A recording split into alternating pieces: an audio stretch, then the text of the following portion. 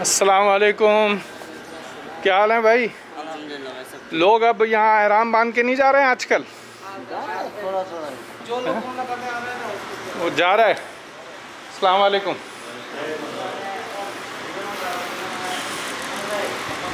ये